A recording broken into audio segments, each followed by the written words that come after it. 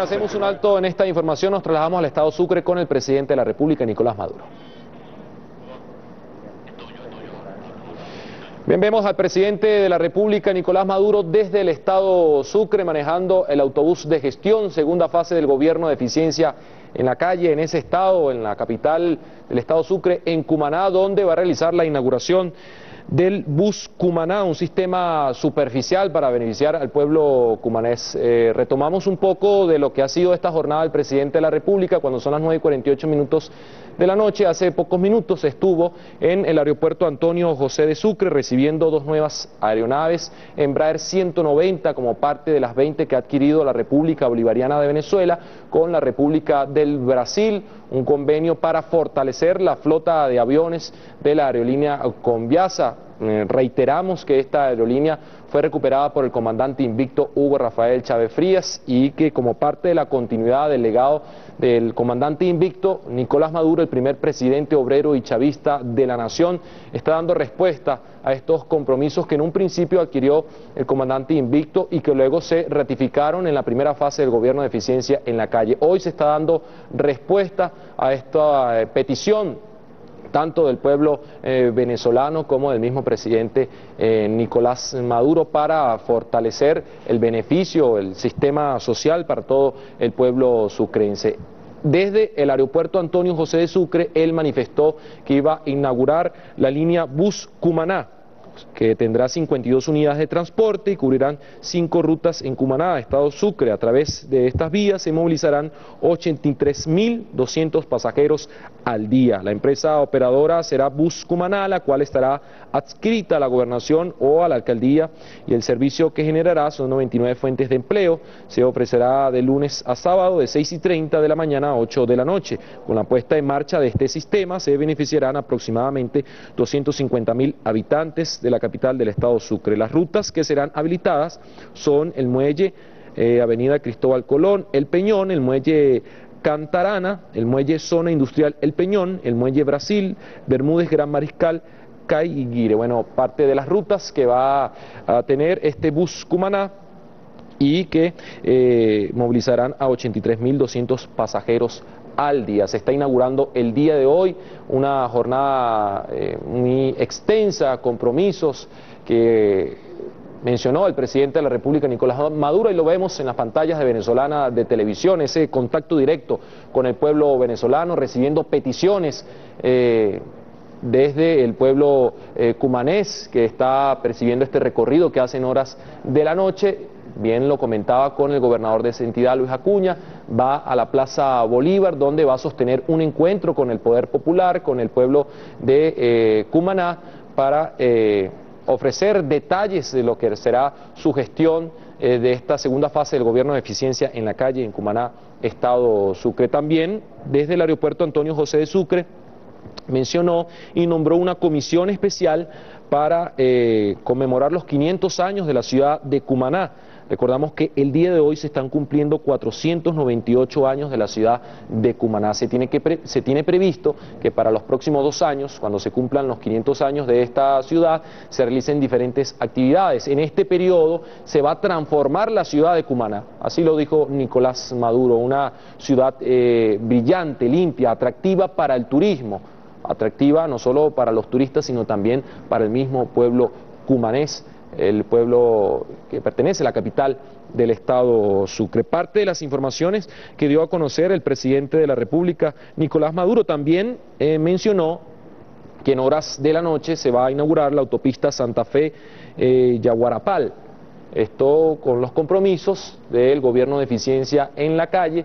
Y él lo mencionaba, en esta primera etapa que se realizó hace pocos meses, eh, como parte de su gestión y fue bandera eh, durante su campaña electoral y que logró esa victoria del mes eh, de abril, él mencionó que se iba a recorrer estado por estado, se iba a recorrer todo el territorio nacional. Recordamos que el mismo presidente Nicolás Maduro fue chofer de autobús del metro de Caracas durante seis años. Él mencionó que eso es un orgullo para él ser el obrero, el primer presidente obrero y chavista de esta nación. Obrero que eh, conoce las necesidades del pueblo venezolano porque viene precisamente de, eh, desde los puntos más eh, destacados del pueblo venezolano, del pueblo popular, del pueblo más necesitado. Hasta ahora tenemos a nuestro compañero Jesús Manzanare desde Cumaná, Estado Sucre, que nos tiene los detalles de esta jornada que realiza el presidente de la República, Nicolás Maduro. Adelante Jesús, te escuchamos. Así es amigos de Venezolana de Televisión, nosotros hacemos este contacto desde la Plaza Bolívar de eh, Cumaná, donde está haciendo acto de presencia el presidente Nicolás eh, Maduro, como ustedes pueden ver en las imágenes, una gran algarabía aquí de todo el pueblo de Cumaná que se ha acercado justamente a recibir al jefe de Estado venezolano cuando se cumplen 498 años de la fundación de la llamada primogénita del continente americano, Cumaná, la cuna del mariscal de Ayacucho, héroe de Pichincha y de Ayacucho que le dieron la libertad a Ecuador y al Perú del yugo español, también cuna de importantes poetas de Venezuela, cuna de Andrés Eloy Blanco, de quien muchas veces inspiró el comandante supremo de la revolución bolivariana y de otros tantos poetas de nuestra eh, patria, una gran algarabía. Ya el presidente hizo una serie de anuncios en el aeropuerto designando una comisión especial justamente para conmemorar en el año 2015 los 500 años de Cumaná. Allí lo vemos bajándose del autobús procedente del aeropuerto Antonio José de Sucre hasta la Plaza Bolívar de Cumaná. Me acompaña el corresponsal de gran trayectoria aquí en Cumaná, Jorge Luis López, para que nos dé tus impresiones de este día histórico cuando se conmemoran 498 años, Jorge Luis. Sí, Jesús, gracias. Buenas noches a todo el país. En efecto, estamos observando en estos momentos en la pantalla del Sistema Bolivariano de Comunicación e Información al presidente de la República Bolivariana de Venezuela, Nicolás Maduro Moros, quien acompañado del gobernador de la entidad, Luis Acuña, y de David Velázquez, así como también de la comitiva oficial que está acompañándolo, está en estos momentos saludando a un grupo de artesanas y artesanos que se encuentran ubicados en unos módulos que se dispusieron a los efectos de que cada uno de estos hombres y mujeres del estado Sucre de Cumaná puedan exponer sus eh, trabajos que vienen realizando como actividades productivas, específicamente en el área del procesamiento de pescado, así como también las tabacaleras, mujeres que día a día con su esfuerzo, con su trabajo, vienen realizando labores dignificadoras. Allí vemos al presidente Nicolás Maduro saludando a las personas, a los artesanos, al pueblo cumanés que se ha dado cita acá en la Plaza Bolívar de Cumaná para testimoniar su afecto, para testimoniar su gratitud por todos los trabajos, por toda la gestión de gobierno que ha venido realizando y que se inició desde la Revolución Bolivariana con el comandante supremo Hugo Chávez Frías. Allí podemos ver al presidente Nicolás Maduro saludando al pueblo, a todos los artesanos y artesanas que se encuentran ubicados en estos módulos que se han instalado en la Plaza Bolívar de Cumaná. Allí en estos momentos está eh, verificando, observando a una procesadora de productos del mar que como materia prima procesa el atún y que viene también eh, disponiendo en estos momentos de una nómina de más de 16 padres de familia que laboran con ellos y allí está entregando también una serie de requerimientos al presidente Nicolás Maduro Moros a los efectos de que pudiera seguirse avanzando y ejecutando proyectos que tengan que ver con el desarrollo socioproductivo del Estado Sucre. El esfuerzo en conjunto de todos los sectores de la vida social, quienes de la mano con las políticas que se vienen impulsando a nivel nacional, regional y municipal, pudieran contribuir al desarrollo económico del Estado Sucre y de la ciudad de Cumaná. Allí también pueden observar en sus pantallas a los grupos culturales, a los folcloristas, a todos los grupos quienes de alguna u otra manera han venido siendo visibilizados por las políticas culturales que ha venido impulsando el gobierno bolivariano y que han tenido presencia en cada uno de estos actos que se desarrollan a nivel nacional y que en estos momentos a través de las pantallas del Sistema Bolivariano de Comunicación e Información cada uno de los venezolanos puedan observar. Bien, así es. Eh, Jorge Luis, un día histórico el día de hoy aquí en eh, Cumaná, Estado Sucre, la cuna del gran mariscal eh, de Ayacucho. Es importante destacar que fue el 12 de agosto del año pasado cuando un acto multitudinario como los que solía realizar aquí en esta importante ciudad del oriente venezolano anunció que Cumaná sería la capital de Venezuela cuando se cumplieran los 500 años de fundación de esta importante ciudad del oriente eh, venezolano. Entre otras cosas, allí manifestó que se van a celebrar por todo lo alto, con los jóvenes, con todos los sectores de la vida nacional, los sectores sociales, los afrodescendientes, los indígenas, los pescadores, todos los actores sociales que hacen vida en el estado Sucre para conmemorar esta magna fecha que sin duda alguna va a engalanar a todos los cumaneses y a todas las cumanesas que hoy están dando una representación de lo que será próximamente la cumaná de antaño que tiene varias décadas, eh, varios años, incluso siglos celebrándose y es una representación cultural que entre otras cosas expresa las distintas vestimentas, las distintas formas de cultura justamente para eh, nuestro país y por supuesto también para eh, Cumaná. Vamos con Jorge Luis López de nuevo. Sí, gracias Jesús. Continuamos transmitiéndole desde acá, desde la Plaza Bolívar de la ciudad de Cumaná, con la llegada del presidente Nicolás Maduro Moro, quien eh, viene a realizar eh, pues, este conversatorio con el pueblo sucrense que se ha encontrado acá en esta plaza. Música, la música.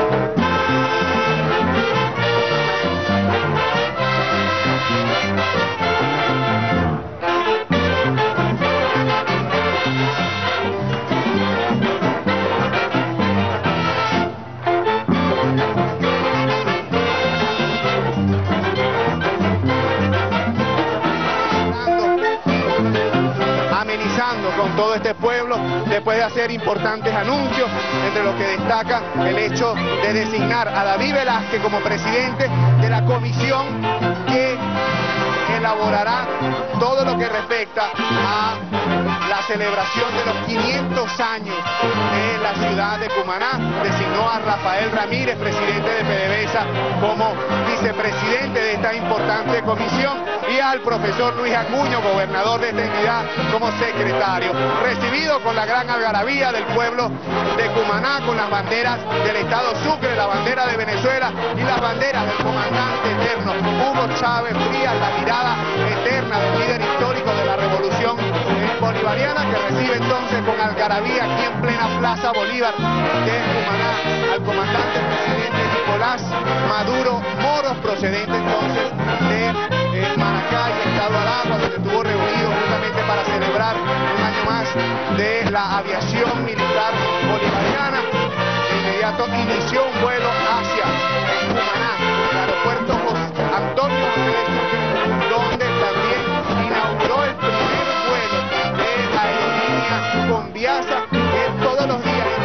volará hacia esta ciudad justamente para interconectar esta importante ciudad del oriente venezolano, el centro eh, del país. Entonces, logros históricos, logros concretos como parte del gobierno que está impulsando el presidente Nicolás Maduro y de los cuales también se esperan eh, en el transcurso de noche importantes anuncios en materia de vialidad, en materia también de servicios públicos, en materia por supuesto de cultura y también en materia de lo que respecta con el tema de los servicio, un día histórico para todos los eh, sucrenses, para todos los cumaneses, para todas las cumanesas. El presidente se encuentra con presidente constitucional de la red aquí en el oriente venezolano, Maripili Hernández y por supuesto también del gobernador Luis Acuña Cedeño y el candidato del Gran Polo Patriótico aquí en el municipio Sucre. En los actos con motivo de la celebración del 498 aniversario de la fundación de Cumaná, la primogénita del continente americano hacia los 500 años de comunidad mestiza. Ciudadano presidente, reciba el reconocimiento de esta tierra cuyas raíces representadas por el gran mariscal de Ayacucho Antonio José de Sucre en su lucha por la libertad de los pueblos nuestroamericanos están sembradas más allá de nuestras fronteras. Bienvenido, ciudadano presidente, a esta tierra donde el comandante supremo Hugo Rafael Chávez Frías estuvo destacado en el comienzo de su carrera militar. Bienvenido. De inmediato, imposición de la condecoración Gran Mariscal de Ayacucho Antonio José de Sucre en su primera clase, donde se declara a Nicolás Maduro, presidente constitucional de la República Bolivariana de Venezuela, como hijo ilustre de la ciudad de Cumaná, e imposición de la orden bicentenaria en su única clase. La imposición la realizarán Luis Acuña, gobernador del estado Sucre, acompañado de representantes de nuestros pueblos originarios sucrenses, por el pueblo Guarao, Félix García, por el pueblo Chaima, Carmen Vargas, por los Cariñas, Pastora Rojas. Lectura del decreto. República Bolivariana de Venezuela, Gobernación del Estado Sucre, Secretaría General de Gobierno, Cumaná, 26 de noviembre de 2013, años 203 de la Independencia, 154 de la Federación. Resolución número 0601. Resuelto.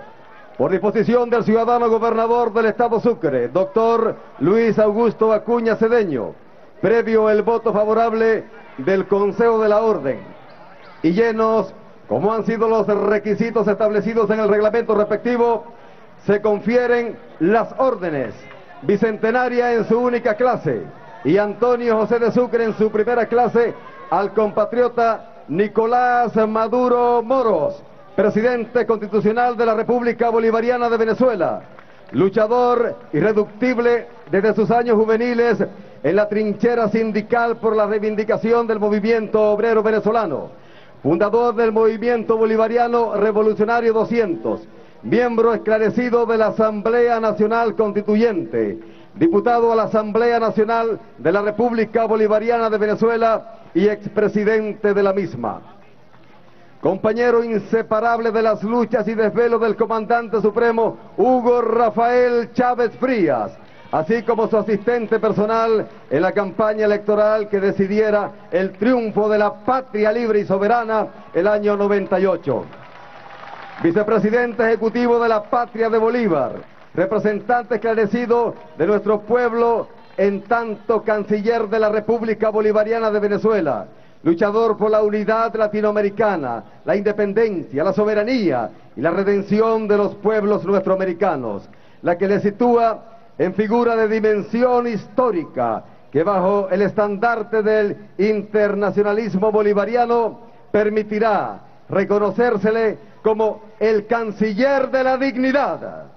Su extraordinario y comprometido quehacer revolucionario como hijo del comandante eterno, le convierte en el primer presidente chavista y obrero de la patria de Bolívar y desde hoy para siempre, hijo esclarecido del pueblo del gran mariscal Antonio José de Sucre. Comuníquese y publíquese por el Ejecutivo del Estado Sucre, el secretario general de Gobierno, doctor Abraham Toro.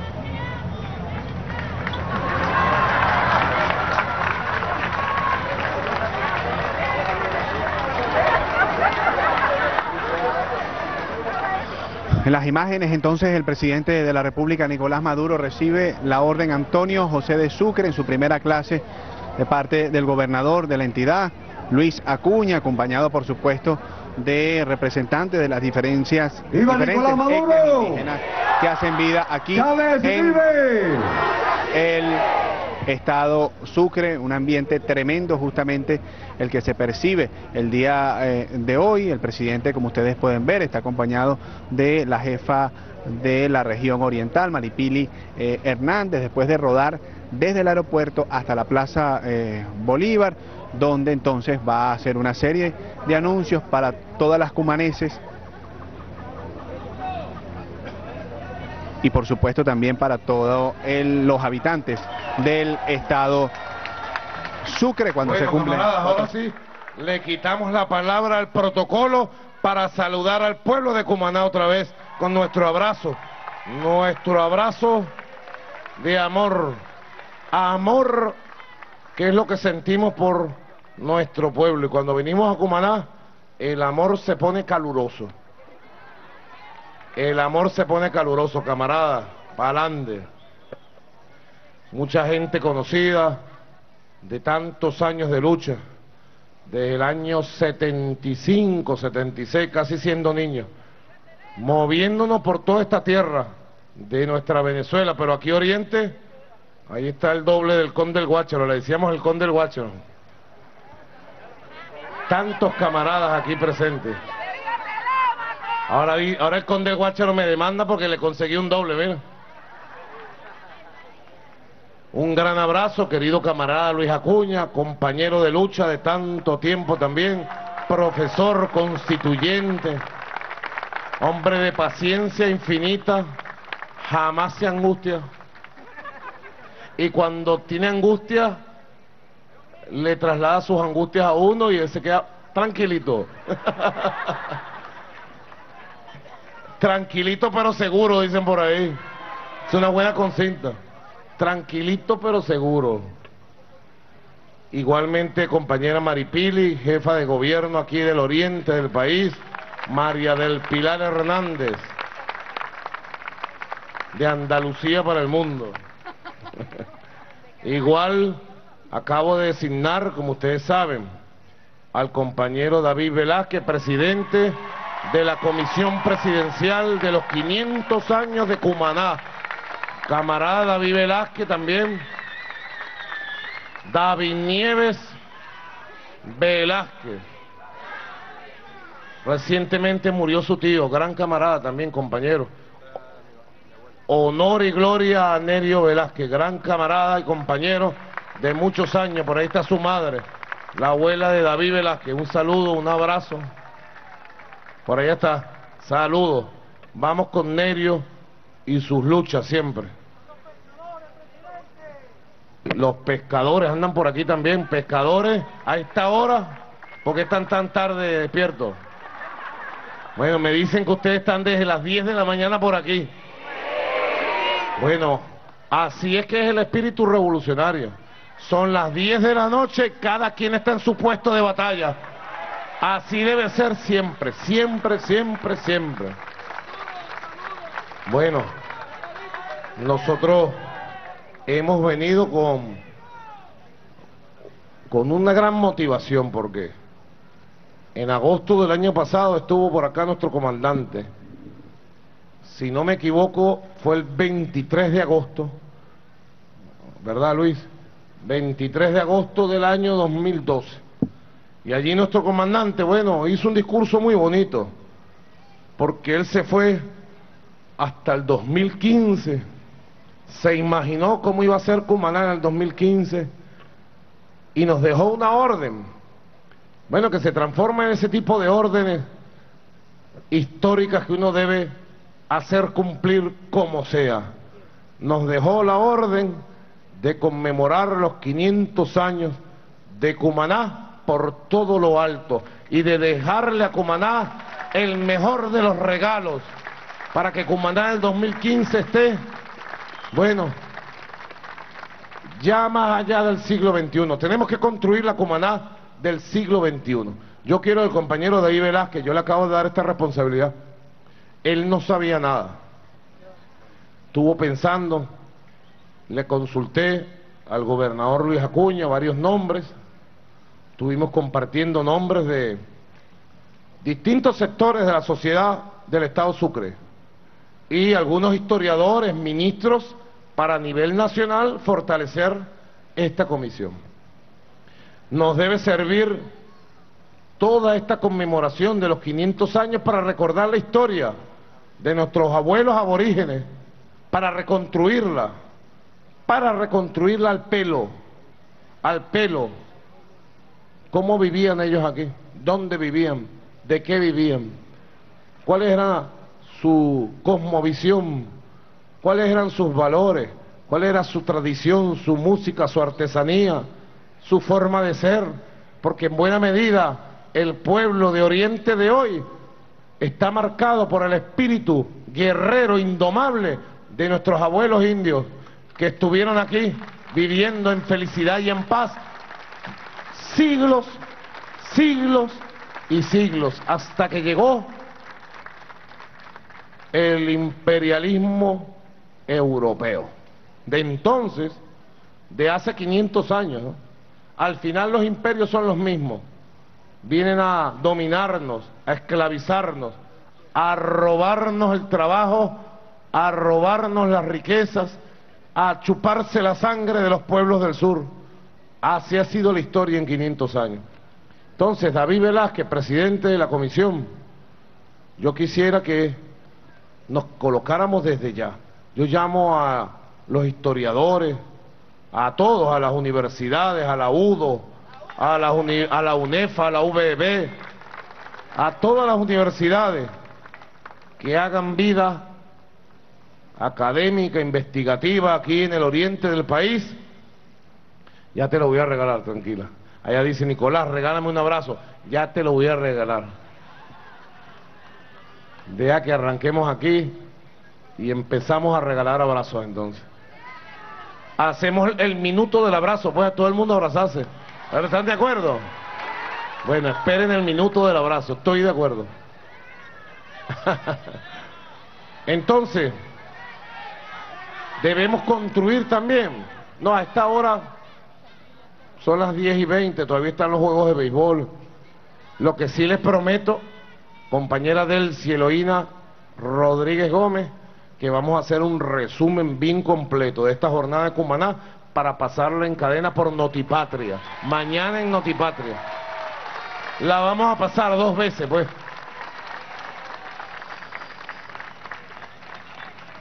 Y tenemos que reconstruir la historia. Toda la historia gloriosa que nos llevó a Sucre, al ejército de Oriente, a la campaña de Oriente. Porque toda esta fue una gran región de donde surgió la libertad, aquí el oriente del país, hace 200 años y un poco más y tenemos que reconstruir la historia para que nosotros nos apropiemos de la historia, de los valores de la historia.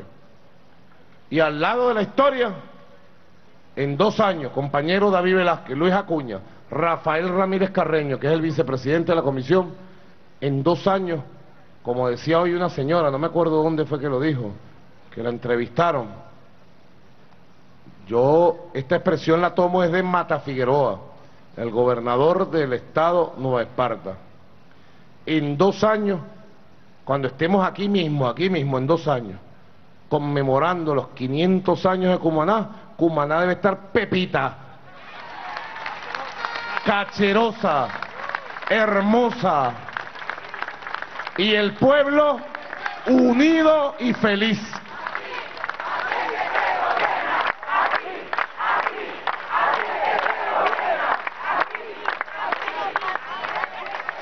Bueno, David Velázquez, compañero, a mí un comentario orientador de esta responsabilidad que te he entregado el día de hoy a los 498 años de Cumaná. David Velázquez, presidente de la Comisión Presidencial, pues 35 años de la juventud bolivariana que se ha formado en revolución. David, adelante.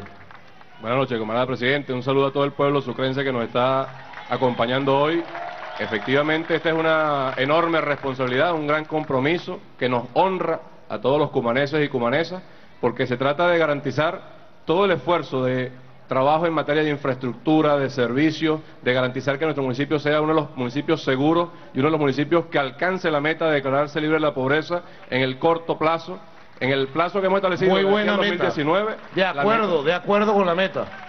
Eso amerita mucho trabajo. En la gran misión Vivienda Venezuela, en la gran misión Barrio Nuevo Barrio Tricolor, en los planes de alimentación, educación, salud, de acuerdo con la meta. Esa es la meta. Ha dado en el clavo el compañero David Velázquez. ¿Ustedes están de acuerdo? ¿Me van a ayudar a esa meta? Cumaná 2015, territorio libre de pobreza. ¿Estamos de acuerdo? Vamos a hacerlo, pues. Continúa, compañero. Eso implica un esfuerzo como el que usted mencionó en el aeropuerto de infraestructura, vialidad, alumbrado, servicios de aguas potables y servidas, el trabajo de la construcción de viviendas, el desarrollo del Estado Sucre y del municipio de Sucre como una zona económica especial. Hoy nos decía el camarada Rafael Ramírez en la plaza en Ayacucho que el municipio Sucre, el Estado Sucre deben ser una potencia energética nacional y eso forma parte del esfuerzo de la generación de empleo productivo en materia de turismo, de comercio, de industria, de agricultura, de pesca, en todas las áreas potenciales de desarrollo con las que cuenta el municipio y que estamos seguros nosotros que nos van a garantizar alcanzar ese objetivo. Nosotros estamos seguros de que además de eso debe trabajarse articuladamente, como lo planteó siempre nuestro comandante presidente Chávez, en unidad plena de gobierno nacional, regional, municipal y el poder popular. La conformación de las comunas socialistas, que es otra tarea nuestra aquí en el municipio Sucre, convertirnos en un municipio comunal, un municipio donde el poder popular juegue un papel estratégico en la construcción del socialismo. Muchas gracias, camarada. David Velázquez. David, ustedes saben, es uno de los muchachos que se formó en estos 14, 15 años de revolución, de una tradición, de una tradición de familia patriota, revolucionaria. Y David le he dado esta responsabilidad. Cuando yo era canciller, el comandante Chávez, bueno, lo nombró ministro y luego lo envió como embajador en la República Islámica de Irán. Allá se fue, hizo tremendo trabajo, déjeme decirle, en Irán. Aprendió a hablar farsi, el idioma del pueblo persa. Hablaba farsi él y su esposa y sus hijos. Todavía habla farsi, que hable un ratico farsi, dicen allá. que le diga hola en farsi por lo menos. Salam, merci, Hailey Manum, Mochacarán. No, guará, pues. Puede dar los discursos en farsi, ¿verdad? Se para y da su discurso en farsi. Una vez el presidente Amanideyat se puso a hablar con él en farsi, sorprendido, porque en unos meses aprendió. O sea, es un muchacho que se dedica al trabajo, se dedica al trabajo. Y para esta comisión presidencial tienen que trabajar de manera unitaria, como una llave. Luis Acuña y David Velázquez. Y David Velázquez. Bueno, camarada.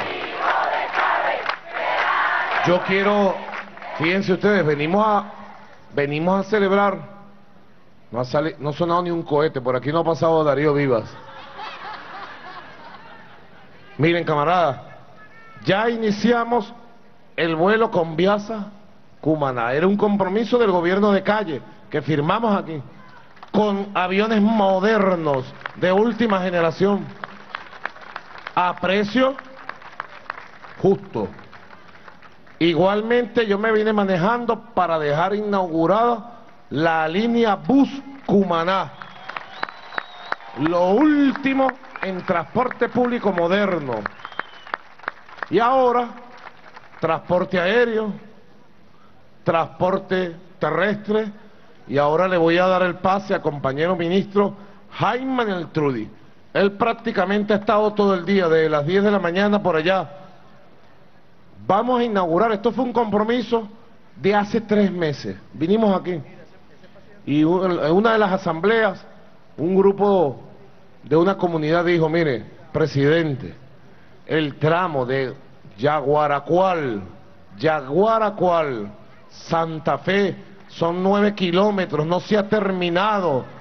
Ahí mismo mandé al ministro terminó de levantar el proyecto y en tres meses hemos construido el tramo Yaguaracual-Santa Fe de la autopista Oriente, de la autopista Antonio José de Sucre. Gobierno de la eficiencia en la calle. Gobierno en la calle eficiente.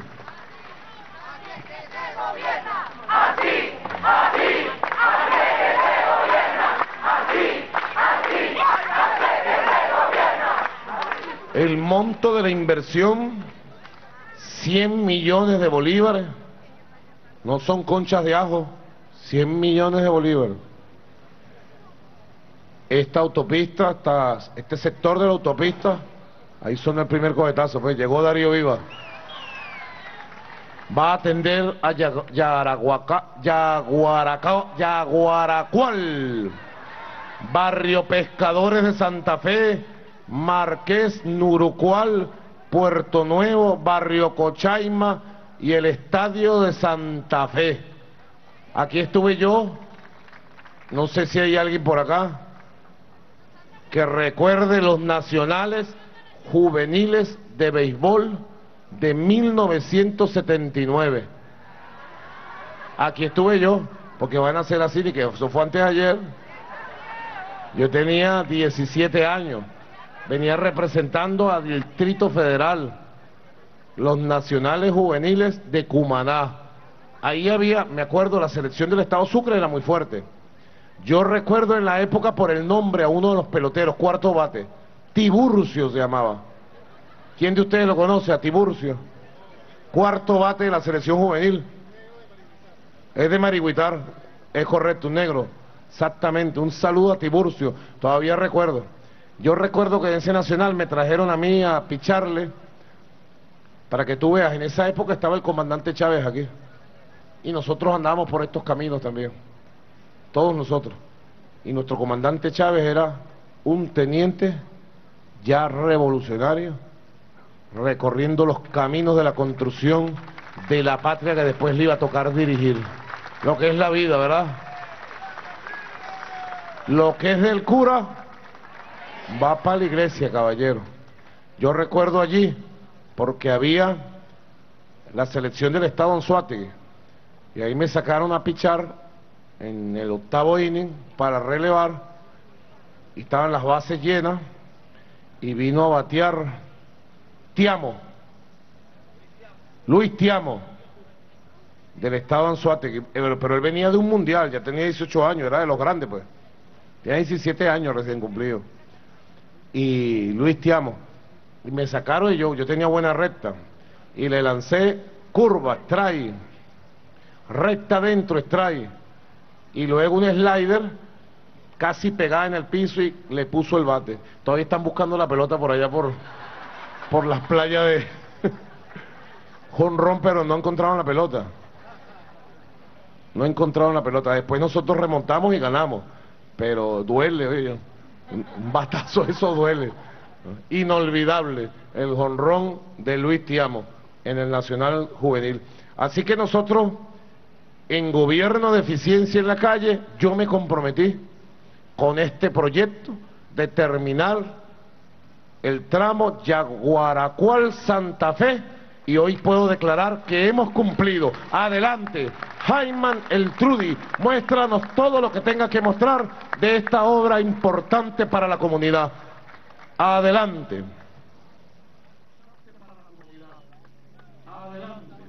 Buenas noches, presidente. Muchas gracias por el pase. En efecto, acá nos encontramos con una pequeña representación de los responsables de lo que aquí está ocurriendo el día de hoy. Tanto los compañeros trabajadores de la obra como los contratistas, los consejos comunales, el equipo del Ministerio de Transporte Terrestre, la propia gobernación del Estado. Todos hemos sumado esfuerzo para, en efecto, consolidar ese compromiso del gobierno de la eficiencia de calle que usted asumiera meses atrás en su visita a Cumaná. Y es así entonces, presidente, como a la luz de los distintos compromisos que se adquirieron, he aquí uno de los más estructurantes que hoy estamos inaugurando. Existe un conjunto de imágenes de apoyo que tomamos en el transcurso del día para poder mostrarle al país con la luz del día, con la claridad suficiente, los detalles de la obra extraordinaria que acá estamos inaugurando. Se trata, presidente, de nueve kilómetros de vialidad que conectan la población de Santa Fe con Yaguaracual. En total, presidente, estamos esquivando 33 curvas de la troncal 9, que es la carretera eh, que atraviesa el oriente venezolano, desde Caracas hasta Carúpano. La troncal 9, por cierto, presidente, como compromiso del gobierno de calle, ameritó una rehabilitación y ya también hemos finalizado dicha, dicha rehabilitación. Y además finalizamos la construcción de este tramo vial que va a permitir el desplazamiento de unos 10.000 vehículos por día y ahorra, simplifica el viaje en unos 25 minutos, dado la forma expresa como ahora se puede tomar este segmento de vía. Un segmento de vía que nos pone apenas a cuatro kilómetros y medio del distribuidor Santa Fe en las puertas de Cumaná para tener ya la conexión definitiva desde Cumaná hasta este punto, que ahora beneficia a toda la comunidad circunvecina, pero también a quienes transitan esta vía, esta arteria vial tan importante. Presidente, hay algunos datos de interés que vale la pena destacar. El primero de ellos tiene que ver con la activación de las fuerzas del poder popular organizado. En este caso, se ha conformado una empresa de propiedad comunal a partir de la iniciativa de varios consejos comunales que aquí activan. En total hay 10 consejos comunales. Y con esa empresa de, de, poder popular, de producción comunal, hemos nosotros, las hemos capacitado para que puedan hacer muros de gavión, es decir, son unos muros que permiten la contención de movimientos de tierra, dado que esta zona montañosa tiene muchos deslizamientos y demanda muchas intervenciones de este tipo. Bueno, la comunidad se ha capacitado, ha sido contratada para ejecutar todos los muros que se han realizado en este tramo de autopista y ahora continúan hacia la troncal 9 para garantizar la edificación de estas obras, tanto como el mantenimiento vial necesario para toda la troncal 9 y este tramo de autopista, presidente. Es el poder popular organizado involucrándose en las grandes obras del gobierno nacional y del gobierno regional. Además, presidente, destacar que hemos dado un tratamiento especialmente ecológico a toda la intervención que se ha hecho. Porque en el fondo tenemos nosotros la bahía de Mochima y todo el Parque Nacional Mochima. La belleza escénica de, esta, de este tramo autopista no tiene parangón en todo el país, no me cabe la menor duda. claro, con sus particularidades, es la bahía de, de Mochima. Y dado esa belleza escénica, nosotros hemos construido un mirador turístico que es en el punto en donde nos encontramos ahora mismo detenidos, junto con la comunidad que nos acompaña, que van a poder disfrutar en toda esta amplia plazoleta que hemos construido, donde hemos habilitado, bueno, lugares para hacer parrillas, mesas, sillas, y el fondo, sobre todo, presidente, el fondo, como le decía, tiene una belleza sin igual, porque es nada más y nada menos que Mochima, presidente. Luego, la intervención que se ha hecho también a nivel de la restitución de la capa vegetal es muy importante porque hemos trabajado con un tratamiento bio, eh, de, bioingeniería que permite la mm, recomposición de la capa vegetal que ha sido intervenida para tener completamente saneada desde el punto de vista del impacto ambiental esta obra, presidente. Es así entonces como presidente podemos con su venia darle inauguración formal a este tramo de autopista y hemos propuesto la activación del Buscumaná también desde acá, presidente. Usted lo inauguró por allá, pero aquí hemos dispuesto un conjunto de autobuses para que sea el transporte público colectivo que ahora va a servir a la ciudad de Cumaná el primero que transite por estas vías que estamos inaugurando el día de hoy, presidente. Entonces le damos la instrucción a los compañeros del bus Cumaná para que comiencen el desplazamiento de los autobuses. Y mientras las imágenes muestran este despliegue, yo me tomo un último minuto para comentarle, presidente, que el bus Cumaná tiene 30 autobuses que va a funcionar en tres rutas, como las que podemos apreciar acá, desde el terminal hasta el Peñón, desde el terminal del ferry hasta Brasil y desde el terminal del ferry hasta La Llanada. Es decir, presidente, vamos a abarcar más de 168 paradas en un horario de funcionamiento desde las 6 y 30 hasta las 8 de la noche. Hemos capacitado a 64 operadores y vamos a atender al día 30 mil personas en promedio con estas unidades, presidente. Allí tiene entonces, presidente, la inauguración de la autopista y el desplazamiento de los buses Cumaná. Con esto retornamos con el pase, presidente. Muchas gracias.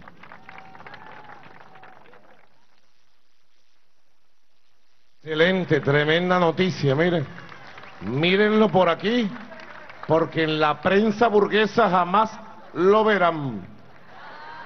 La nueva Venezuela es invisible para la burguesía. Ellos tienen su propio mundo. Además, la gran burguesía, el gran capital, tiene su propio mundo.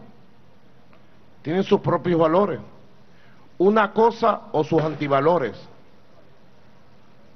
porque valores es lo que tiene este pueblo. El valor del trabajo, valor del trabajo, de la honestidad, ¿verdad? Vivir del trabajo, del esfuerzo, de verdad. Y vuelvo a poner un ejemplo y lo voy a poner todos los días hasta que se logre la justicia. Ustedes saben todo el esfuerzo que aquí está el pueblo, la Unión Cívico-Militar. Un ejemplo yo ponía ahora en, lo colocaba, en el acto de la aviación militar bolivariana. ¿Cuánto trabaja nuestra Fuerza Armada, verdad? Ahora cuando yo llegó el almirante Avendaño, jefe de la red, contraalmirante Ríos Bento y todos los jefes militares de nuestra Fuerza Armada, de las milicias.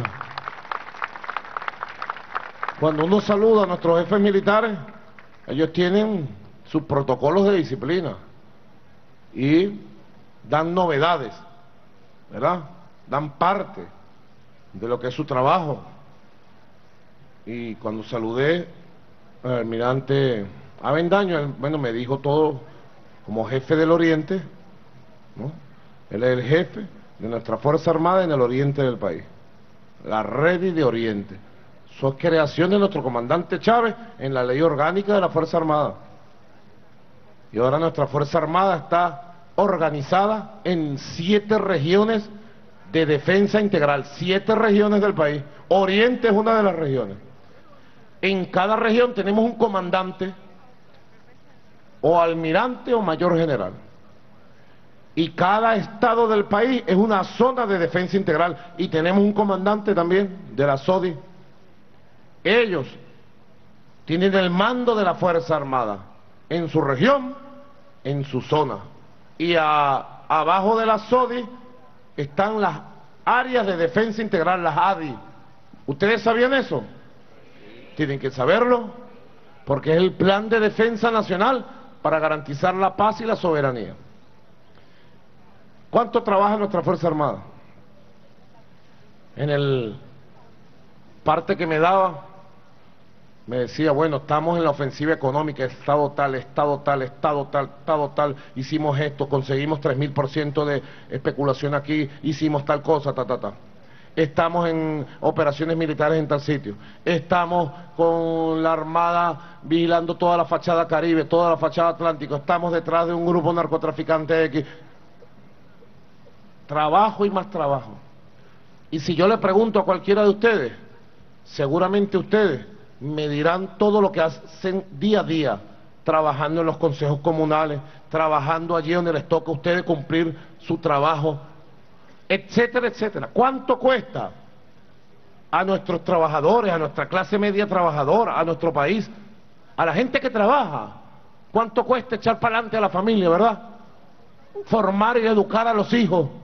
¿Cuánto cuesta, verdad? mantener una familia allí feliz, estable, adelante. Y mientras el pueblo que trabaja, el país que trabaja, tiene valores de honestidad, de esfuerzo, de solidaridad, hay una élite, una élite que se la pasa es pensando cómo aprovecharse del trabajo ajeno, cómo quitarle al pueblo sus riquezas, sus ahorros, su trabajo. Ustedes vieron lo que pasó ayer en Valencia. Da indignación, le hierve la sangre a uno que una persona, diputado de la burguesía, de la alta burguesía, dueño de las empresas IMECA, ustedes saben qué es la empresa IMECA, que fuimos a inspeccionarla en todo el país y conseguimos que vendían productos vencidos. ¿Ustedes sabían eso? Vendían madera venezolana con polillas adentro, vencidas. Y todo eso con sobreprecio de mil, mil quinientos por ciento. Y otros productos, muebles, etcétera, etcétera, con sobreprecio hasta dos mil por ciento. Si este hecho es grave en cualquier comerciante o empresario, ya es grave, ¿verdad? Es grave. Es más grave para alguien que tiene responsabilidades públicas como un diputado. Mucho más grave. Cuando se hizo la denuncia, ese señor se llama Miguel Cochola. Cuando se hizo la denuncia, él agarró un avión y huyó para Miami. Estuvo dos semanas fuera del país. Y el día de ayer llegó y lo estaban esperando un grupo de politiqueros de la derecha fascista, como si fuera héroe de la patria, lo aplaudían. Y luego salieron en 20 carros, 20 carritos, pues salieron por las calles como que hubiera llegado un gran héroe de la patria al país, cuando es un especulador, un burgués que remarcaba precios, que vendía productos vencidos, que estafaba al pueblo. ¿Ustedes creen que es un héroe de la patria, un estafador, un especulador, un burgués ladrón, un capitalista? A mí me hierve la sangre, yo les digo, de verdad. Yo veo eso y me hierve la sangre. Yo le pido máxima conciencia a todo el pueblo de Venezuela. La Venezuela que trabaja, la Venezuela patriota, la Venezuela decente, tiene que imponerse a esa minoría de ladrones. No podemos dejar que esos ladrones continúen saqueando a este pueblo. Yo no lo voy a permitir.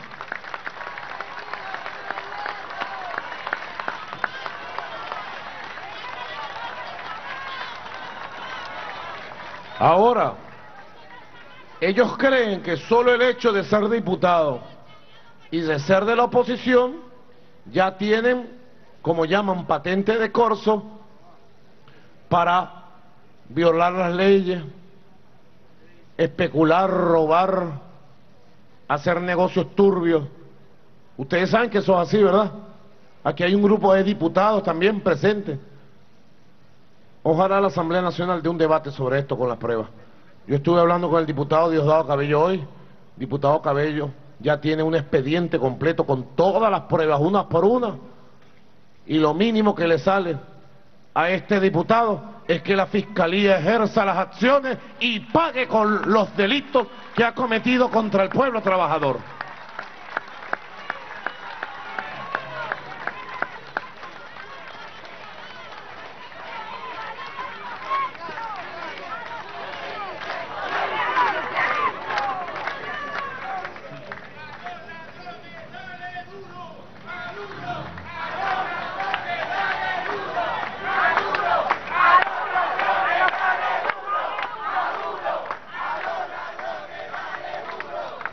Duros que le vamos a dar a todos esos bandidos. Vamos a seguir dándole muy duro, ¿oyeron? Y yo le pido, yo le pido al pueblo de Venezuela, le pido el apoyo, sincero. Yo el viernes que viene, ahora cuando yo digo estas cosas se ponen nerviosos y como loca. Pues ustedes se ríen. Como locos y como locas se ponen. La derecha fascista se ponen como locas. Mira, está muy peligroso. Yo lo quiero, compañeros y compañeras. Están muy nerviosos y están muy peligrosos la derecha fascista. Están inventando. Quieren violencia, quieren muertos. Aquí va a seguir habiendo paz. Yo voy a garantizarle la paz a este país. Yo voy a protegerle la paz al pueblo de Venezuela. Se la voy a proteger, ustedes verán. Se la voy a proteger. La paz al pueblo de Venezuela. Y se la vamos a proteger como sabemos nosotros, trabajando, todos los días. Fíjense ustedes, un cuarto para las once de la noche. Cuando un gobierno en este país, antes que llegara el comandante Chávez, estaba con el pueblo gobernando en una plaza pública, ejerciendo el poder y el gobierno popular. Antes, ¿cuándo? Díganme ustedes. Pónganme un solo ejemplo. Mira, realmente esto es muy motivante. Ver al pueblo de Venezuela como están ustedes, con una sonrisa. ¿Ustedes están de acuerdo que amanezcamos aquí hoy? Bueno, entonces, aprobado, vamos a amanecer aquí en gobierno de calle y de aquí nos vamos a comernos unas empanadas en el mercado al amanecer.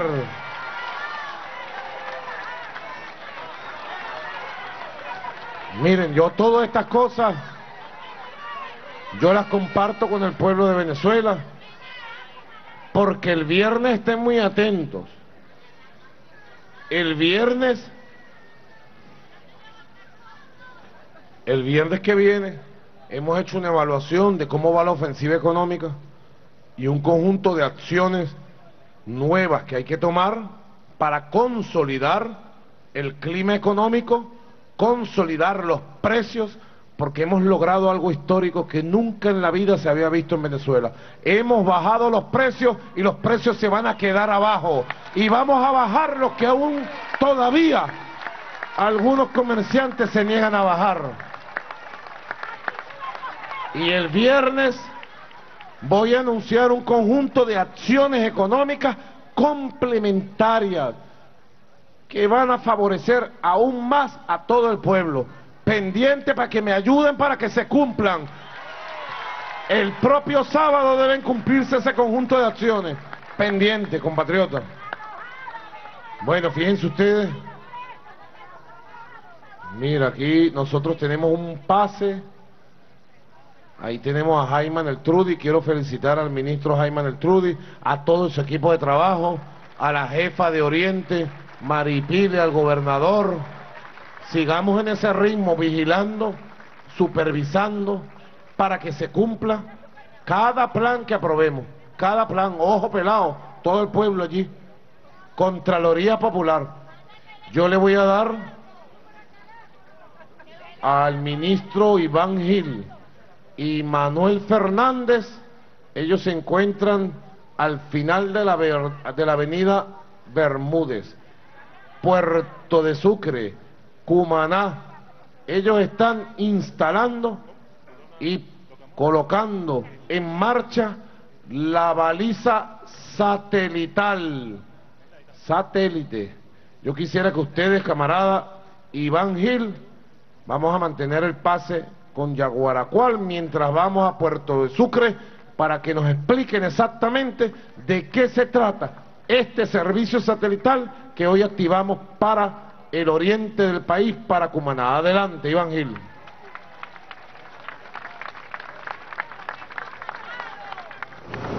Chávez vive, la patria sigue.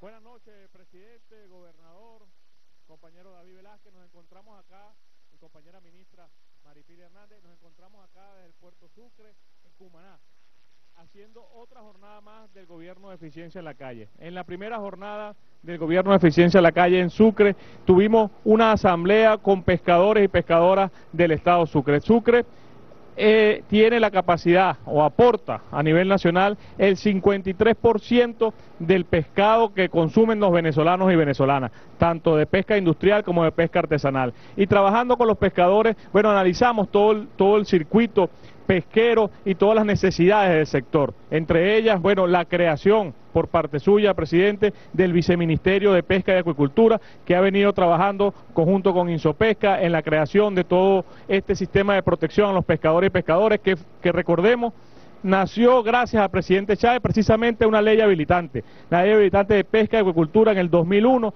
y luego esa, ley fue mejorada en el 2008 que permitió incluso la eliminación de la pesca de arrastre que hoy beneficia a todos estos pescadores artesanales. Me acompaña por supuesto el ministro Manuel Fernández, ya vamos a explicar, porque CanTV ha sido fundamental y el Ministerio de Ciencia y Tecnología fundamental en el proyecto de baliza satelital que vamos a explicar.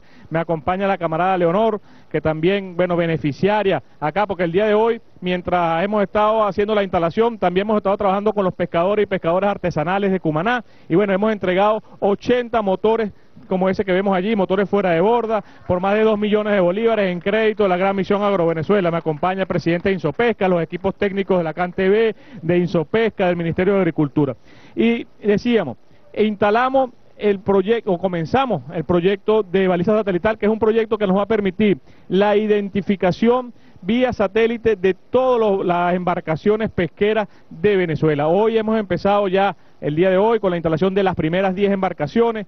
Vamos a cerrar el año con 50 embarcaciones con baliza satelital instalada y el año que viene las 1.200 embarcaciones que salen a pescar. Explicando brevemente, presidente, eh, este sistema no es más que la instalación de un GPS, un geoposicionador de satélite en, la embarcación que nos va a permitir, le va a permitir a los técnicos de Insopesca, a los técnicos del Comando Estratégico Operacional, de la Armada, de Linea, de todos los organismos del Estado, de la propia PDVSA, bueno, monitorear en tiempo real dónde se encuentra cada embarcación. Aquí vemos un ejemplo por, que vemos acá, la, la embarcación denominada El Mami. Bueno, en este momento, en tiempo real, aquí vemos la ruta, dónde está pescando, dónde está faenando, en qué parte del territorio mundial porque nosotros tenemos una flota que pesca tanto en el Atlántico como en el Pacífico. Y eh, es parte de la lucha que estamos haciendo en este momento en el órgano superior para la defensa de la economía contra el contrabando de combustible para proteger a los pescadores y pescadoras, que va a permitir, bueno,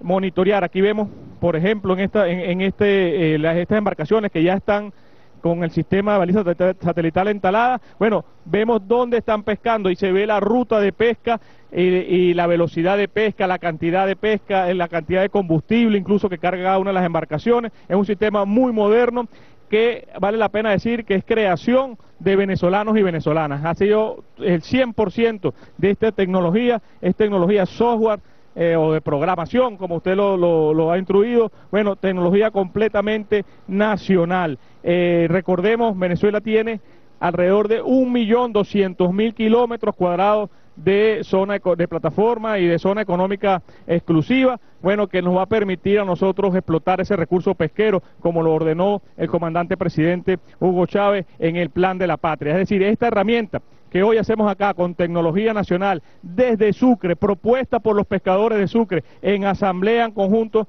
con, con, el gobierno bolivariano, el gobierno de eficiencia a la calle, hoy se pone en marcha. Yo quiero que de todas maneras, bueno, la compañera camarada Leonor Medina nos dé sus palabras de este acto del proyecto Baliza Satelital, antes de dar la palabra al ministro Manuel Fernández para que también nos amplíe más en el tema tecnológico. Buenas noches, señor presidente, Nicolás Maduro Moro. Hoy me siento orgullosa de tenerlo aquí en Cumaná, primogénita del continente americano, en sus 498 años de fundada. En nombre de los pescadores artesanales del Estado Sucre y de los de Cumaná en especial, le doy las gracias por seguir impulsando este apoyo que hoy en día reciben los pescadores artesanales de parte de su gobierno y de su tren ejecutivo que a través de Fonda, Fondade y Sopesca ha hecho posible que nosotros hoy en día estemos organizados en compa para tener la legalidad y seguir mejorando con esos créditos y producir para así colaborar con la economía agroalimentaria de este país. Nosotros los pescadores artesanales sabemos que el legado que nos dejó el presidente es seguir luchando para mantenernos nosotros con esta patria que nos formó y que la debemos de continuar.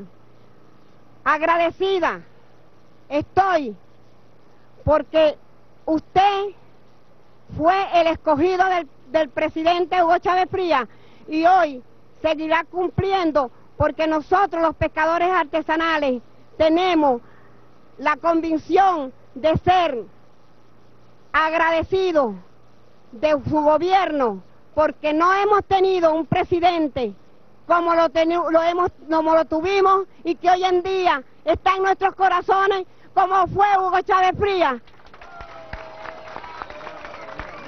Que hoy,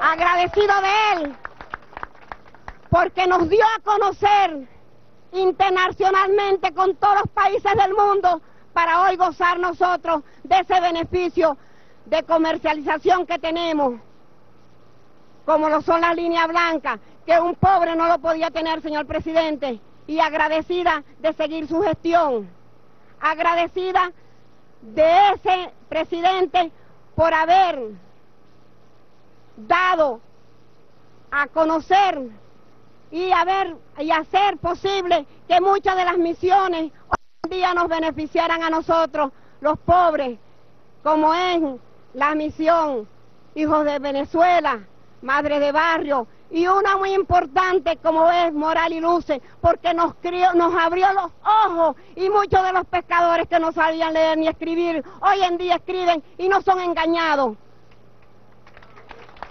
Yo aspiro y espero que los pescadores y todo el pueblo de Cumaná, que hoy debe sentirse orgulloso por tenerlo presente aquí en este estado, apoyemos este gobierno y apoyemos también la candidatura de David Velázquez para continuar con todo lo que debemos de tener todas las alcaldías, porque no tenemos que dejarle nada, ni siquiera una migaja a esos pitillanquis que quieren posesionarse de Venezuela por ese petróleo que nosotros tenemos.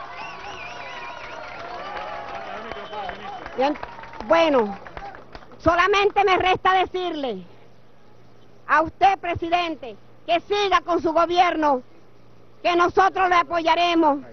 Y gracias, gracias por todo el apoyo que nos ha dado Gracias, gracias, presidente. Mil y una y mil gracias. Y a todo ese equipo que hoy han hecho posible este acto y que hoy han hecho que nosotros recibamos de manos de su gobierno estos motores que nos van a servir de mucho.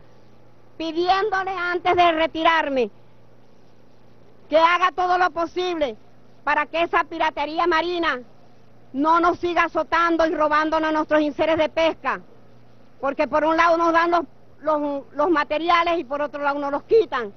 De igual forma le pido que nos permita a nosotros tener a mano más barata ese lubricante para la gasolina que es el aceite. Somos productores, yo entiendo, pero estamos comprando el aceite bastante cara. Entonces yo le agradezco, bueno, que al menos también eso no los cumplan. Ah, y sin antes, no, no me quiero retirar sin decirle algo. Independencia y patria socialista. ¡Que viva Chávez! ¡Que viva Nicolás Maduro!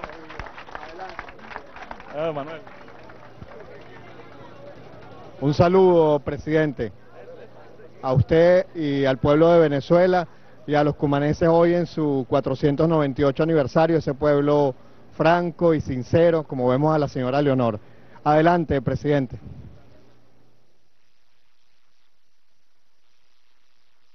Bueno, aquí estamos maravillados, pues. Y mientras Leonor estaba hablando, Aquí, mira, se pararon a aplaudir. Un aplauso para Leonor nuevamente, para que ella pueda ver el aplauso que le dio el pueblo aquí, en la Plaza Bolívar de Cumaná.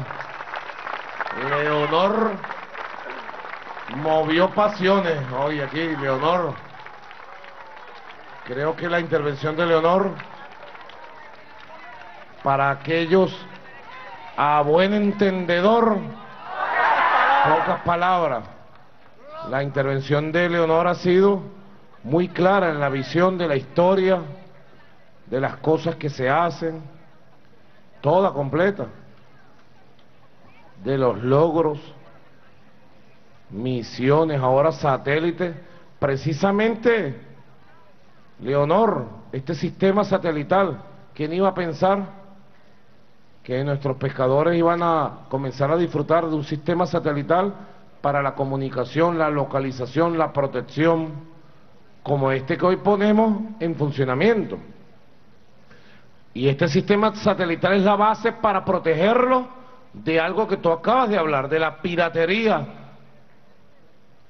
a través del comandante de la red y almirante Avendaño, almirante, y del general en jefe, comandante estratégico operacional, Padrino López, vamos a preparar en toda esta zona una fuerza especial de protección a los pescadores y a todas nuestras costas, especialmente contra los piratas.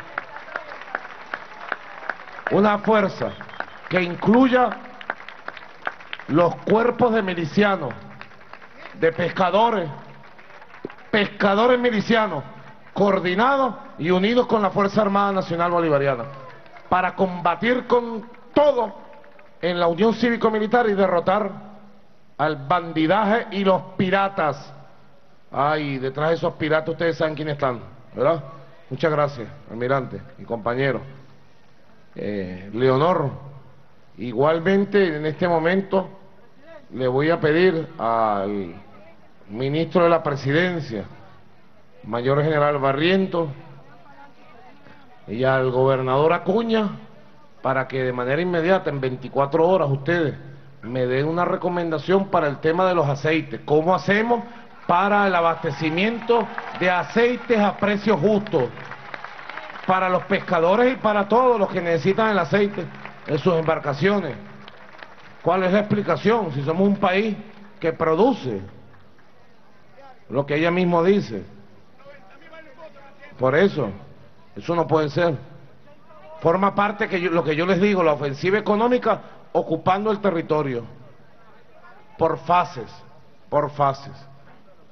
Ya yo remití, yo ya remití a la al Tribunal Supremo de Justicia la semana pasada y está en revisión la ley para establecer, calcular correctamente los costos las ganancias y los precios justos de nuestro país con una ley orgánica habilitante que ya aprobé. La está viendo el Tribunal Supremo para establecer el carácter orgánico. Va a ser una ley marco, ordenadora. Ya la próxima semana el tribunal debe pronunciarse. Estoy seguro, por el carácter que, como se preparó esta ley, una vez aprobada por el Tribunal Supremo, inmediatamente al próximo día sale en Gaceta Oficial y yo voy a pedir el apoyo de todo el país para que esa ley se cumpla desde el primer día y distribuyamos miles de ejemplares de la ley y salgamos en una gran batalla nacional por la estabilización de la economía donde debe estar la economía. La economía no es para eso, para especular con los productos para saquear al que trabaja, no. La economía es para producir y prestar servicios en productos, en servicios diversos, de diversos signos, ¿verdad? Tenemos que ir equilibrando la economía, gobernadores. Los gobernadores tienen que convertirse en una fuerza económica, regional, ordenadora. Yo lamento no haber podido pasar por toda la exposición, pero como llegamos un poco tarde y luego nos quedamos una hora en el aeropuerto inaugurando la ruta de Conviasa, no quería seguir retardando el saludo a ustedes y el inicio del acto, pero yo le dije al gobernador y le dije a las productoras de tabaco que me regalaron este tabaco, está preparadito. Esta noche no se puede, porque en televisión ustedes saben está prohibido este tipo de cosas. Pero esto es producción nacional, pues. Producción nacional. Artesanal de siglos. Una tradición muy del estado Sucre. Una tradición sucrense. Y también pasamos por los productores de papelón. Un papelón de primer nivel. Yo hice mercado de papelón para no llevarnos para la casa, para tomar papelón con limón, que es la mejor vacuna contra la gripe. Y contra todo, pues, contra la SEC. Fíjense, pero yo le acabo de decir al gobernador que le voy a dar la palabra, que él recoja todos esos proyectos productivos y proyectos productivos que están ustedes todos los días amasando, trabajando. Y cuenten ustedes, cuenten, pero desde ya, cada uno de esos proyectos productivos que van generando la nueva economía verdadera. Nosotros tenemos que construir una nueva economía. Si ustedes me preguntan a mí del plan de la patria, que va a ser ley de la República, me dijo Diosdado Cabello la próxima semana. Ley de la República hasta el 2019. Plan de la patria, segundo plan socialista de la nación. ¿Qué les parece? De obligatorio cumplimiento para todos. Gobernadores, alcaldes, diputados, concejales, pueblo de Venezuela, consejos comunales, colectivos, Fuerza Armada Nacional Bolivariana, todo el mundo. Si ustedes me preguntaran, ¿Cuál es la tarea central que debemos cumplir nosotros como pueblo? Pero si me preguntaran con más detalle, ¿cuál es la tarea central que debo desarrollar yo como presidente para los próximos años hasta el 2019? Por lo menos yo le respondería sin ningún ápice de duda, la tarea central es construir una nueva economía estable, productiva, justa, diversificada,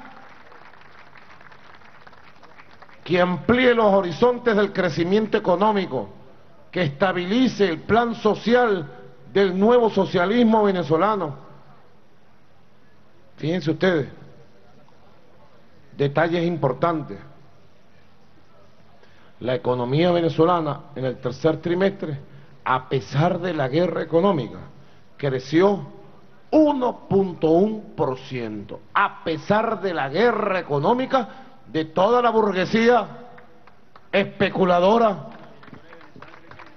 y parásita. Algunos periódicos de la burguesía, porque les arde que el país avance, dice, se desaceleró el crecimiento. Señores, creció 1.1 en medio de la guerra y ponen chiquitico por ahí, bajó el desempleo. Díganme ustedes un país capitalista del mundo, de Europa, donde haya bajado el desempleo en el año 2013. O Estados Unidos. Ah, ellos lo ponen chiquitico. Porque la guerra económica, su objetivo principal era crear una crisis económica ficticia, inducida, si nosotros tuviéramos una crisis económica real, producto de la misma economía, desajuste, producto de una política económica desacertada, neoliberal, lo primero que se afecta es el empleo. Se dispara el desempleo, como fue en la década de los 90 a 15, 18, 20, 25. Se dispara el, ¿cómo se llama? El, el empleo informal Ahí mismo, aquí es al revés. Hoy por hoy el empleo formal en el país supera el 60%, al revés de la década del 80 y el, y el 90. Y el desempleo va bajando, va bajando. La inflación inducida también la vamos a bajar, ustedes van a ver, con la autoridad de la ley, con la fuerza del pueblo y con toda la ofensiva económica vamos a seguir bajando la inflación inducida, la especulación, el remarcaje, el robo contra el pueblo. Ustedes van a ver.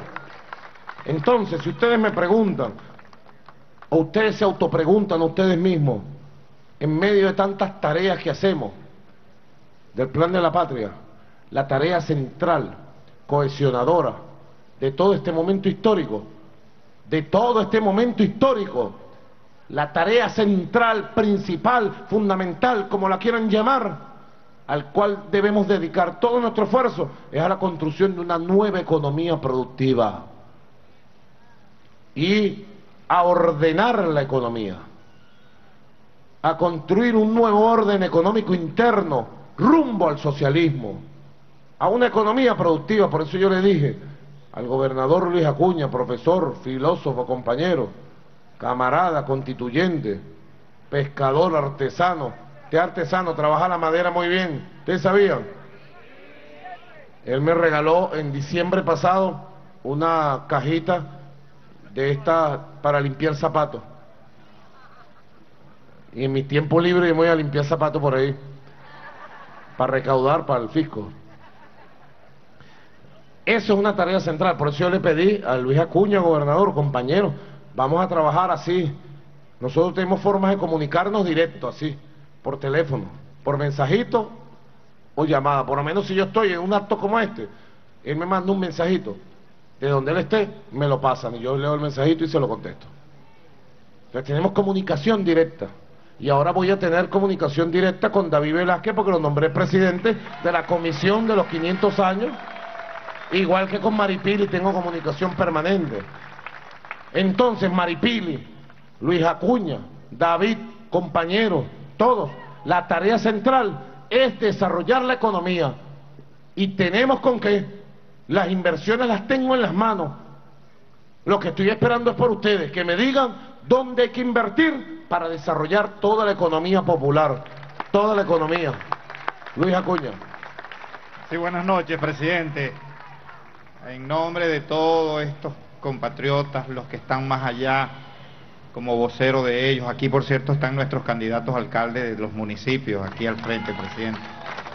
Quiero agradecerle por esta, eh, esta venida aquí a Cumaná. Efectivamente, nosotros nos preparamos hoy para expresarle la necesidad que tenemos en Sucre de reactivar nuestra economía. Nosotros hemos sido de siempre un pueblo productor. Aquí eh, Sucre fue de los grandes pueblos productores antes de que llegara el petróleo y hemos ido perdiendo esa condición. Pero nosotros tenemos un tremendo potencial, nosotros somos el primer productor de cacao nacional, tenemos productores artesanales de cacao con un gran potencial. Eh, que, requerimos de verdad allí las inversiones. Nosotros somos el primer productor de raíces y tubérculos del país. En este momento yo le puedo decir lo siguiente, presidente, aquí con tecnología criolla nosotros producimos el alimento que se comen nuestros cerdos. Aquí en Sucre no tenemos necesidad de estarlo comprando a las transnacionales y ya la gente ha vuelto, porque puede comprar esos productos económicos, tener el cochinito que tiene todo, todo campesino en el patio de su casa. Son economías que nosotros podemos rescatar. El tabaco que se produce en Sucre es tabaco solo para importación, de lo mejor. Usted va a competencias internacionales con el tabaco que producen nuestras tabaqueras y el tabaco de Sucre le gana a cualquier otro tabaco. Nada más. Ah, más nada, como dicen por ahí. Entonces, ¿qué es lo que nosotros no te llevo nada. ¿Qué es lo que nosotros necesitamos, presidente? Producir el tabaco en Sucre, sembrar más tabaco en Sucre. Necesitamos hacer. Vamos a darle, pues. Eh, ¿Qué hace falta? Eh, si están los tabacaleros, están los sembradores, tenemos, la tradición. Bueno, vamos a darle, pues. Yo tengo el dinero para la inversión. Eso es lo que Vamos a avanzar acelerado. Es lo que yo te digo querido hermano gobernador Luis Acuña, Maripili. Maripili me dice que tiene 200 proyectos recogidos en todo el oriente. Compañeros, en el estado Sucre nada más. Es lo que le digo. Escúcheme, por favor, esto no es un discurso que yo estoy dando. escúchenme, pónganselo aquí en el centro, aquí, en lo que llaman los hindúes, aquí, en el tercer ojo, grábenselo ahí, camaradas, si ustedes se preguntan hoy, noviembre de 2013, viendo el futuro, el horizonte hasta el 2019-2020, en medio de todas las tareas que debemos cumplir de carácter político, social, cultural, electoral, nacional, internacional, como decía Leonor, Chávez fue quien nos hizo conocer y querer en el mundo, en medio de todas las tareas que nos toca cumplir. ¿Cuál es la tarea cohesionadora? Que cohesiona todo, que garantiza el todo del resto de esta década, segunda década del siglo XXI, para garantizar el socialismo venezolano, yo les digo, grábenselo, pero concéntrense a trabajar en eso. Gobernador, es la construcción de la nueva economía productiva socialista. Es eso, no es un discurso que yo les estoy dando. Les estoy diciendo lo que es la valoración que yo tengo de lo que debe ser la tarea central de nuestra patria. ¿Ustedes creen que es magia lo que hicimos hace dos semanas? La ofensiva económica no es magia. Es que lo que está oprimiendo al pueblo es que lo que está impidiendo que avance el país hacia un estadio superior de desarrollo es la guerra económica del capital, del capitalismo especulativo contra el pueblo. Y cuando nosotros nos fuimos encima de ese capitalismo especulativo, ustedes van, ustedes ven cómo explotó una fuerza de alegría, de ánimo en la gente. Así es que es, dice la gente. Vámonos por ahí. Claro que sí.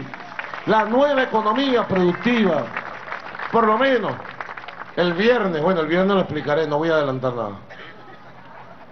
Ah, son chismosos, ¿no? No podemos permitir, por ejemplo, lo que se da en no sé cuántos centros comerciales y comercio. Fíjense lo que hemos detectado. A una arrendatario, no sé, Luz, Luz Mujica Company, por ejemplo, le toca luz, de pronto ella monta un comercio, centro comercial X o un local, y allí vende carteras, zapatos, algunas cosas. Bueno, le cobran varios ojos de la cara. Nosotros descubrimos en un Sambil el sábado un local de 70 metros cuadrados, le cobraban a ese comerciante 136 mil bolívares mensuales. ¿Quién paga esa renta al final? Ustedes saben quién, yo les voy a decir quién. Lo paga el pueblo consumidor en primer lugar.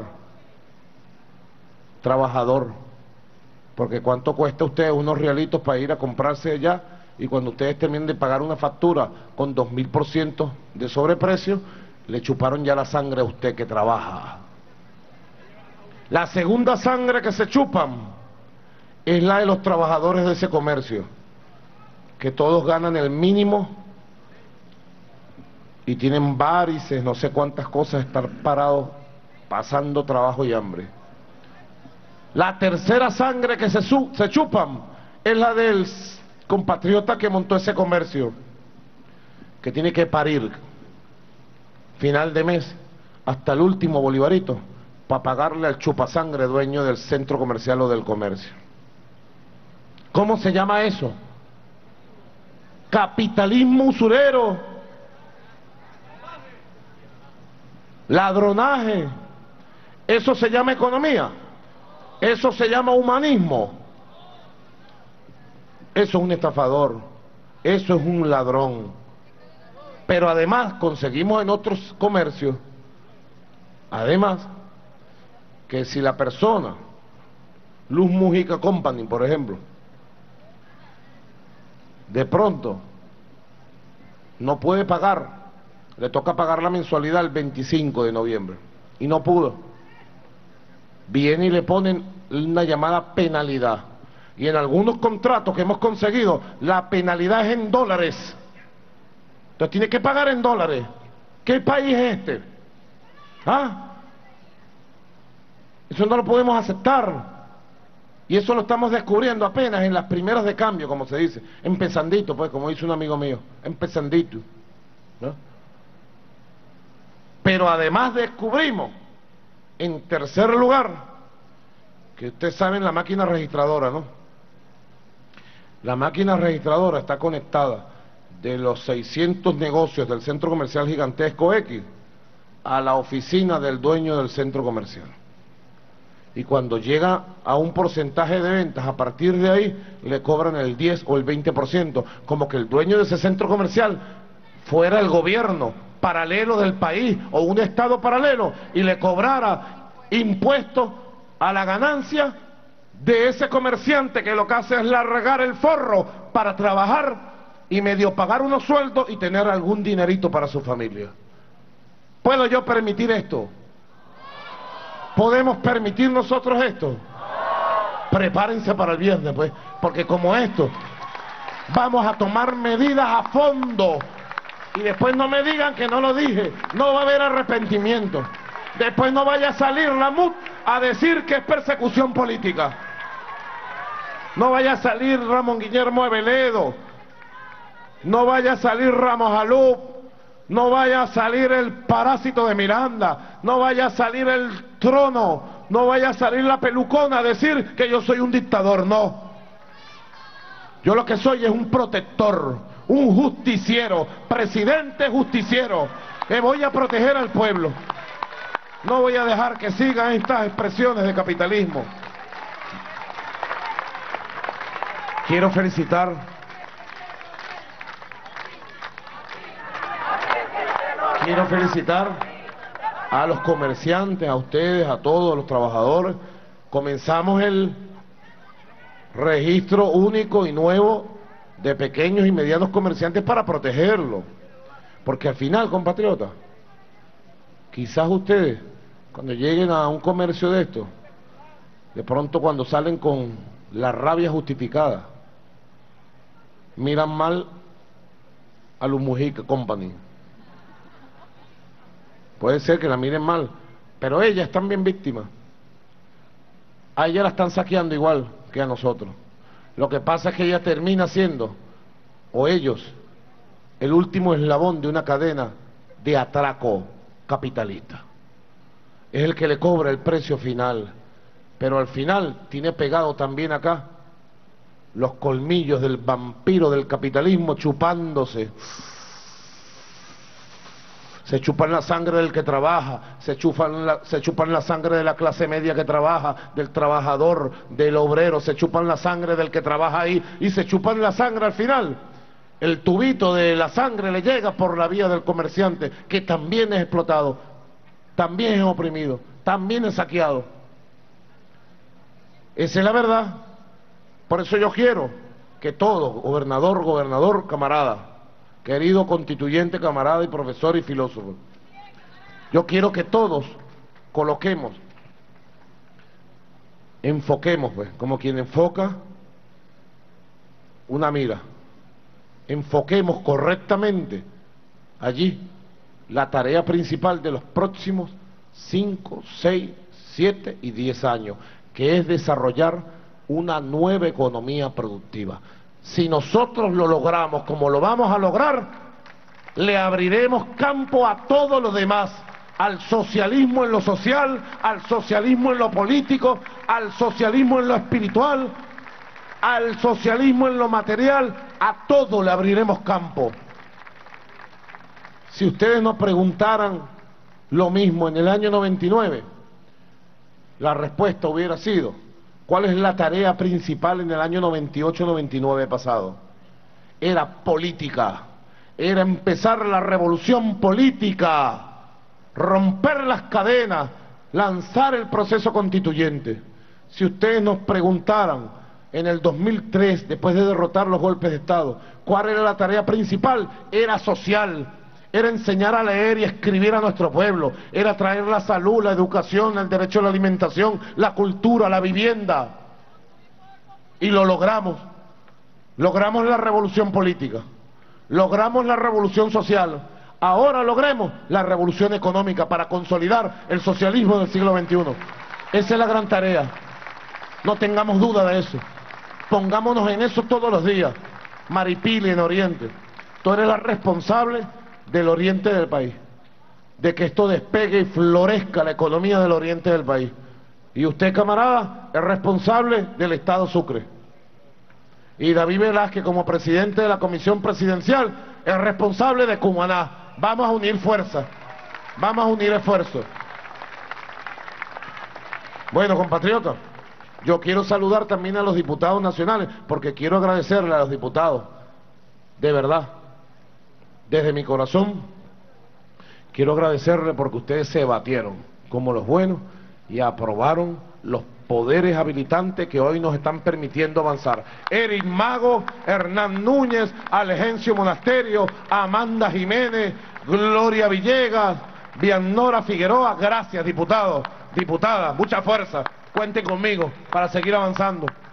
Que viva la mayoría bolivariana en la Asamblea Nacional, para que usted vea lo importante de tener la Asamblea Nacional. Imagínense que no tuviéramos la Asamblea Nacional mayoritaria. El sabotaje llegara al máximo. No podrían parar jamás la revolución, porque esta revolución no la vamos a poder parar. Jamás.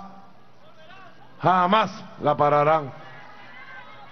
Bueno, camarada, yo quiero ya antes de que empiece la recta final de esta jornada hasta las 6 de la mañana.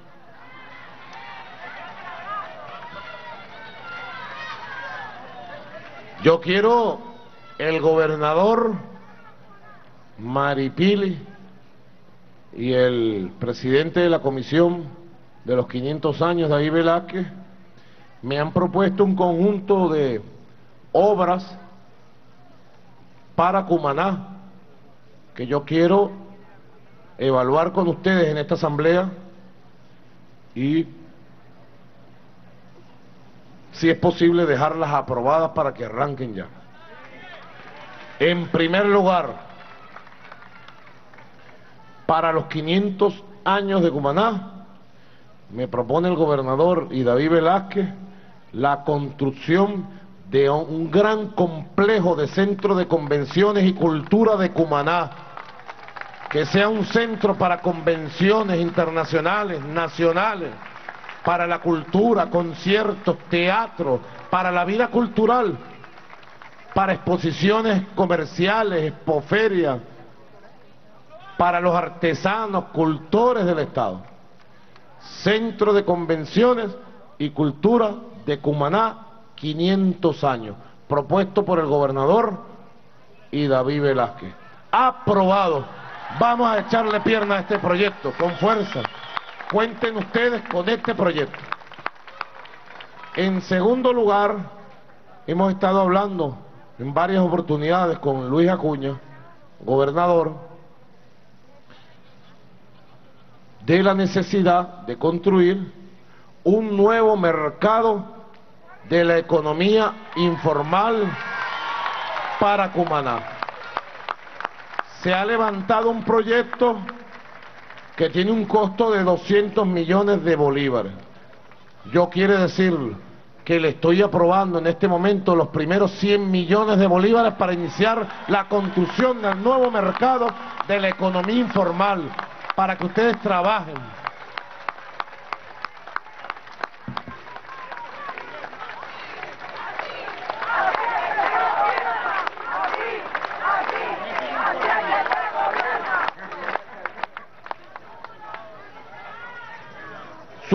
Maduro te ama. Mira, todavía falta el minuto del abrazo. Vamos a hacer estos anuncios y nos lanzamos el minuto del abrazo. ¿Están de acuerdo? Igualmente, hay un proyecto completo ya levantado y se me ha pedido desde la estancia, se me ha pedido desde Claro, ya vamos para allá. pero se me ha pedido aprobar los recursos en PDVSA la estancia para el proyecto integral de rehabilitación del casco histórico de Cumaná, que es una joya de la humanidad. Y vamos a buscar la declaratoria del patrimonio de la UNESCO. Así que este proyecto está aprobado, la recuperación y rehabilitación integral del casco histórico de Cumaná. Desde ya, aquí el palacio este que quemaron, un bandido que pasó por aquí, ¿verdad?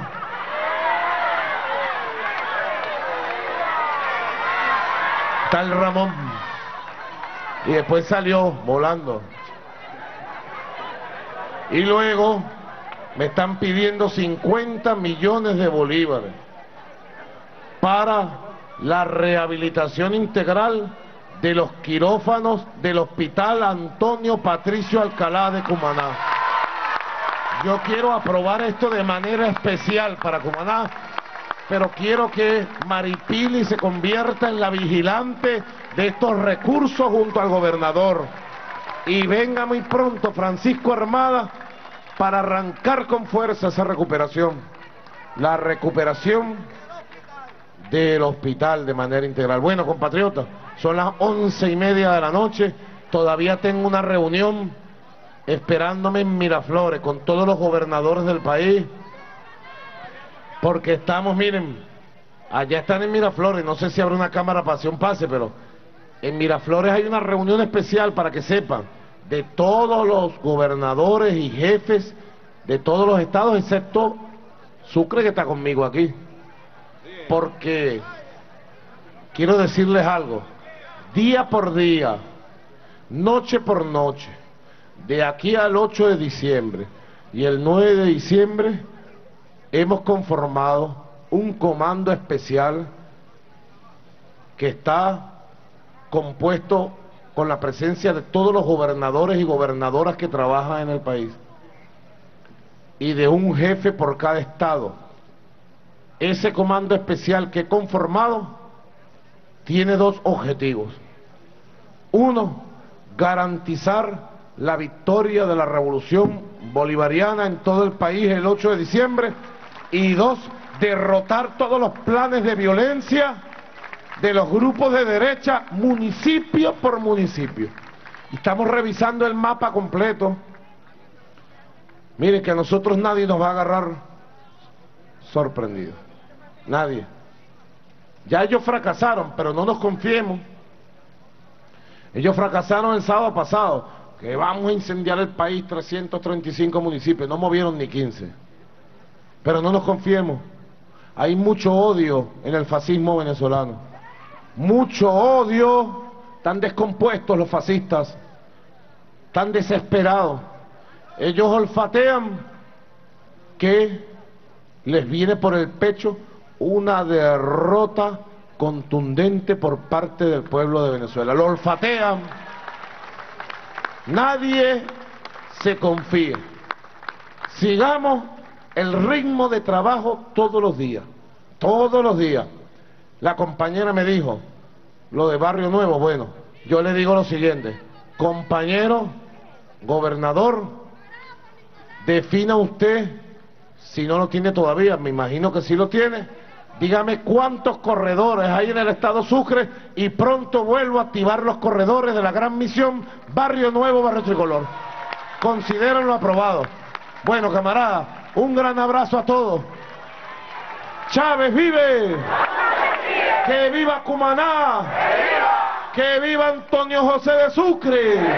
Que viva el Estado Sucre. Que viva el Oriente. Que Dios bendiga Cumaná. Que Dios bendiga Sucre. Muchas gracias. Buenas noches. Hasta la victoria siempre.